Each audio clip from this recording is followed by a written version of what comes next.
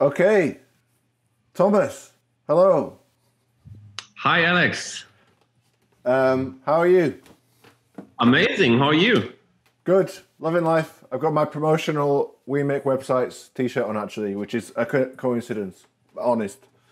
Um, so uh, to introduce ourselves, I'm Alex. I'm the founder at We Make Websites. Uh, Thomas. I'm Thomas. I'm uh, leading the the e-commerce department at uh, Paul Valentine. Great. And uh, We Make Websites is a Shopify design development uh, optimization agency, and we've been working with Thomas and his team at Paul Valentine to uh, build them a headless uh, platform on Shopify on Netlify, and we're going through that project at the moment. So we thought we would share that journey today.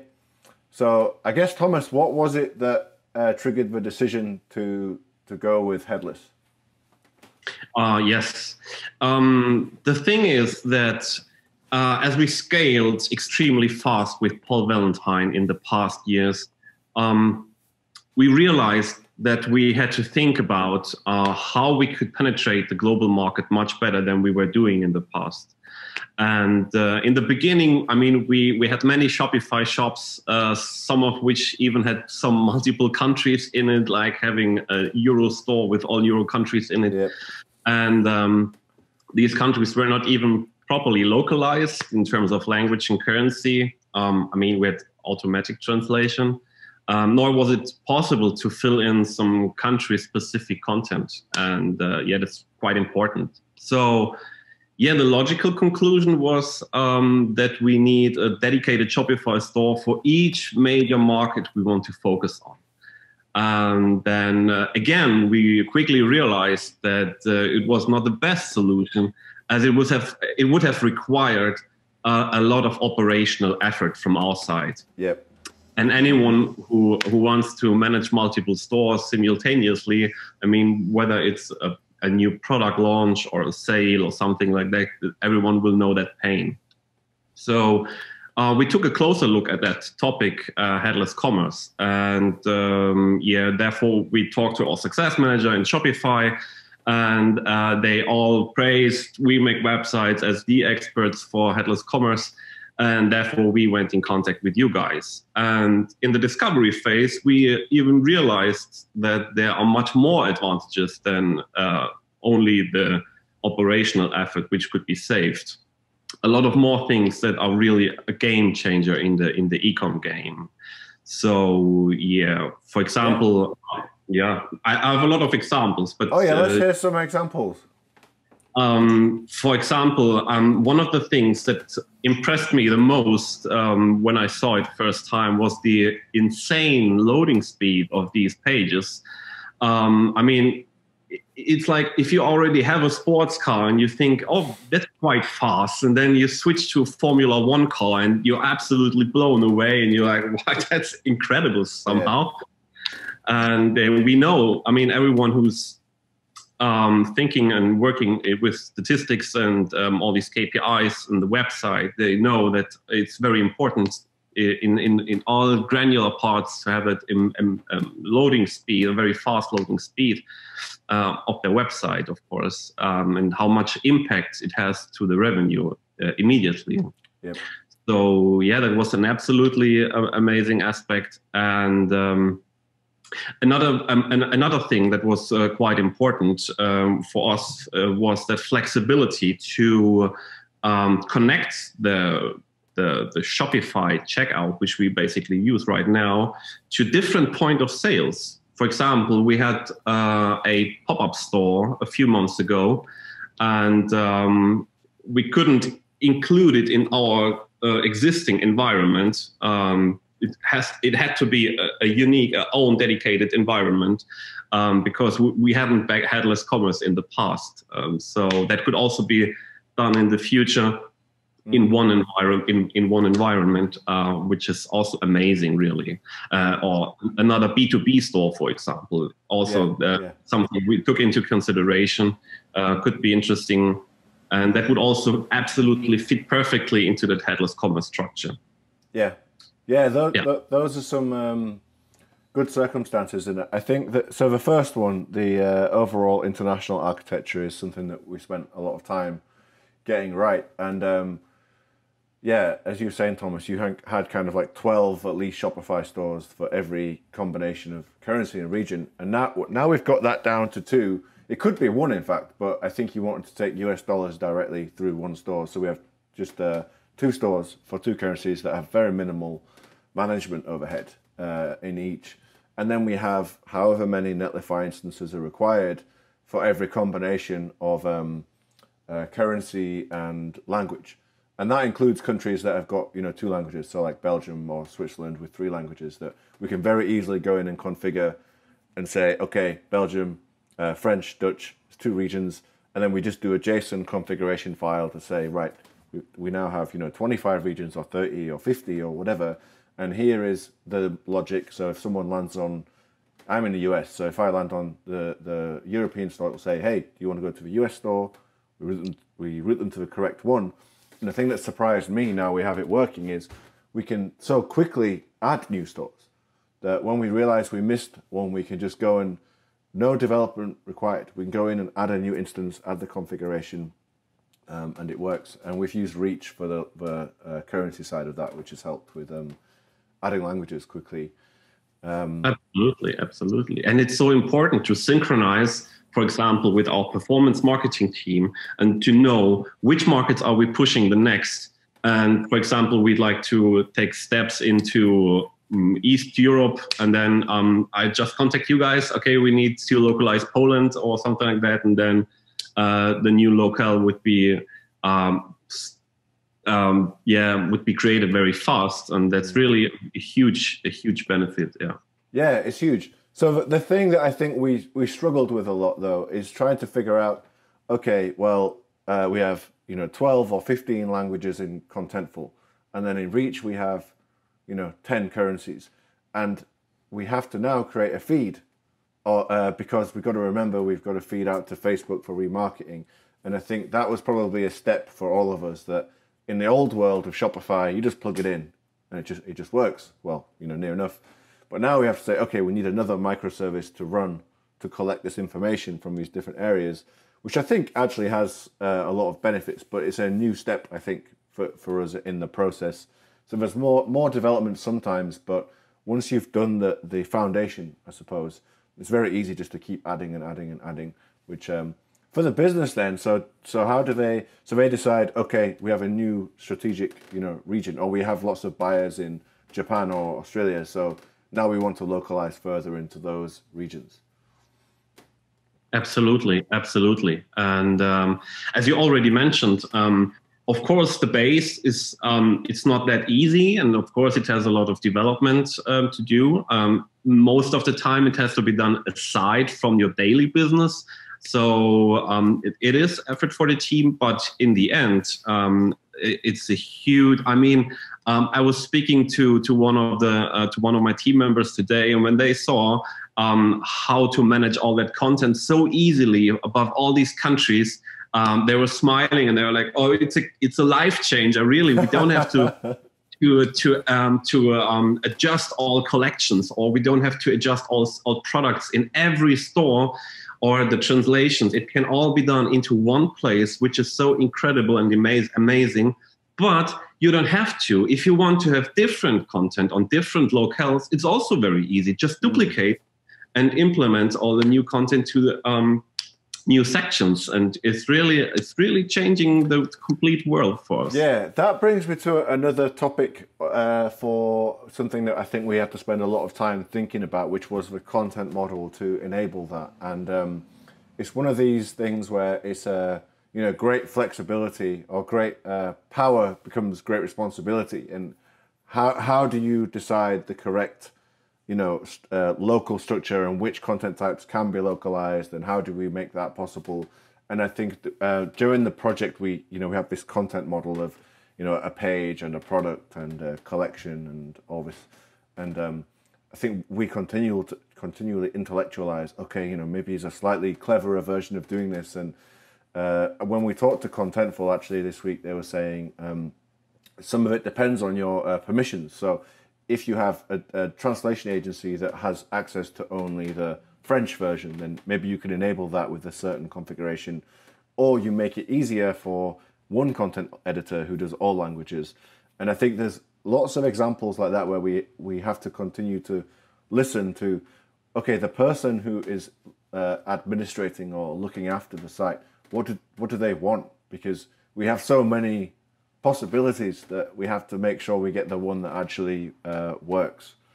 Um, which again is new because on Shopify the admin is the admin, and you know we can do some things sometimes, but it's very rigid. Uh, the admin, which has got lots of benefits too, like it's faster to develop on and so on. But here we can really think, okay, what does the editor want uh, to do? Absolutely, absolutely. And we even think about giving uh, the translation agency uh, access to Contentful so they can uh, immediately implement all these translations. So it's even less work for us. Um, yeah, I wondered it, if you might do that. Yeah. Because but it's really.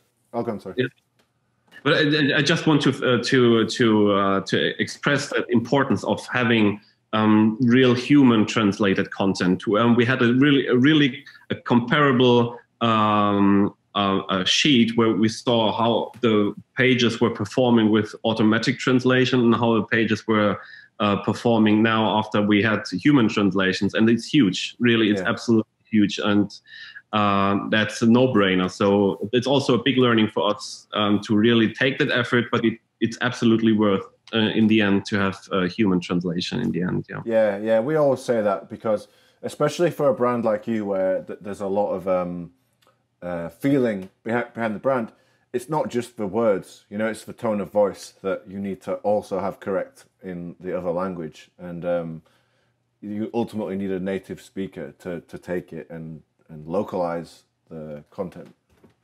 Absolutely. Um, yeah, so you, so you mentioned speed. So yeah, I think that's a huge step forward, and I think for us as a development agency, sometimes we had to keep in mind things that are different. Like to get that speed, to get the Formula One car, we have to uh, create static content on Netlify. So you, you know, in, in Shopify, we have like uh, a PDP, and it loads, and we can do all these different things at, um, at that moment. Whereas uh, with the the uh, approach with headless, we're building these pages that are sat on Netlify, and we can still do dynamic things on the pages, but it's a slightly different mindset for the developer. Um, now they all our developers understand all that, but now you know I'm getting a bit further in my career. To me, it's a new world, and I keep thinking, wow, you know, you have to that create the page the, during the build and have it there. But that's how we can get these epic, you know, speeds. Um, so that's I, same for me. I'm amazed by it. In fact, we had to add this little bit of like a logo because it was too fast. Because you can't tell the, the page has changed. You know, it's crazy. so the wheels were spinning, but the car was moving. yeah, exactly. Um, what was the third thing on your list? So we talked about speed, talked about uh, uh, localization. Um, the flexibility of um, adding new point of sales um, to ah, yes, the right. checkout. Amazing. Yeah, so I think that will come uh, become very powerful as we go forward because now you have this hub in Contentful with the Shopify combined, and then now we have all these websites, you know, 20, 30 different websites, um, which are very easy to manage. But yeah, you could have the app connected to the same thing.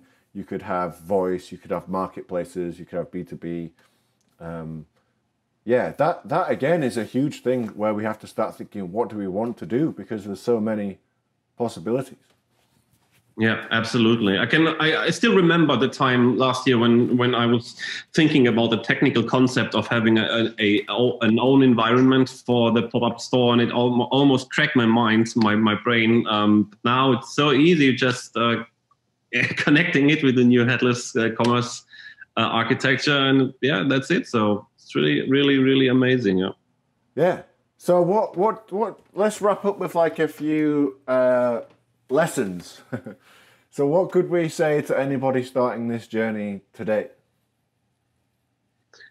Um, whew, there are a lot lessons. It's um, a new world, very new world.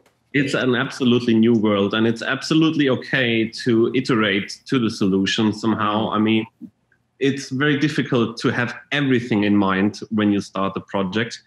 um, it absolutely makes sense to contact someone who is an expert and not doing on your own and just trying to figure out everything. Um, but yeah, I mean, it, it absolutely means, for example, it will be it will be effort. It's it's not deniable. There will be a lot of effort to do, um, and it will most of the time happen aside of the daily business. And um, but it's worth it. Absolutely worth it. Yeah. So I think the, the planning there was quite a big thing that continually you're having to do more like uh, diagrams and more like, okay, this is how it, it could work and is this the right way and what's your feedback? And that I think for us, we you know we always have that with design, of course. Like, okay, here's all the pages. What do you think? And you know we expect that to take weeks, but now we have it with the uh, architecture too. Like, okay, you know which systems? Okay, we have Algolia for search. Well, okay, what which filters do we need?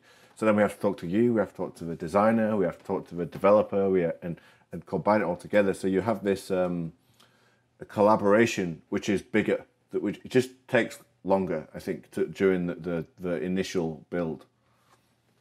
Absolutely, and um, uh, it's also very important to do a little bit of research in the beginning for all these microservices. For example, Algolia as a search. I mean, there are some other search providers um, but we, for example, realized that Algolia is definitely one of the best that fits to us. But there are also a lot of other um, microservices, and um, it makes sense to either do your own research if it fits to your um, to your own business concept, or to contact you guys uh, who can give some hints. For example, one two examples which um, which are best for that. Um, yeah, but but still, that's something that has to be done in the beginning. Yeah. Yeah, yeah, a much more auditing of of the different uh, services that are um, available.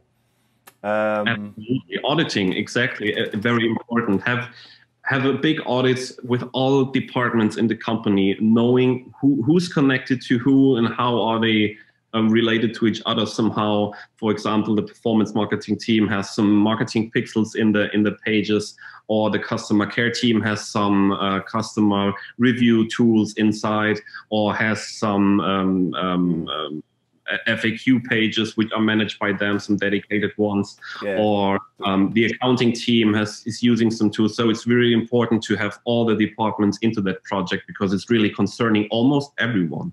Yeah, that's an excellent point, and so it's true on all e-commerce projects. And by now, I've done you know hundreds and hundreds of projects, and you always have the situation that you know the e-commerce team begin and they're the ones that are pushing it forward and then you get halfway through or towards the end of a project and they say oh yeah there's this guy in the finance team and he really really really needs this report or something. Now in the in shopify you know okay it's a it's a pro and a con. So the pro is if there's an app you connect it and it, it does the thing. So let's say connect to Xero for accounting. Okay connection done. Uh, the con is, you know, if they want something that is a bit unusual, then you have to develop it and whatever. So we have the same thing with uh, headless builds, but I think the difference is we make a lot of architecture choices, like you said, you know, like the services that we use and the way that we, you know, where do we store prices or where do we store the multilingual uh, content, which then are harder to change later on. So I think earlier on, this is a lesson for us. You have to keep digging all the time. Like, hey, let's go talk to the guy in the back room in the accounts just to make sure that he has what he needs and, and everything, which is all is always the same in any project. But I just feel like with the headless ones, we're, we're building the thing from scratch, so we we have more possibility, but with that we have more preparation to make. Absolutely, absolutely, yeah. Very good. Okay, well, uh, Thomas, that was very useful. Thank you. And as, a, as always, it was a pleasure. As always, a pleasure to me. And um, yeah, to everyone who's considering having headless commerce, really, it's absolutely worth it. It's amazing. Awesome. Thanks, Thomas. Thank you, Alex. Speak soon. Speak soon. All right. Very good.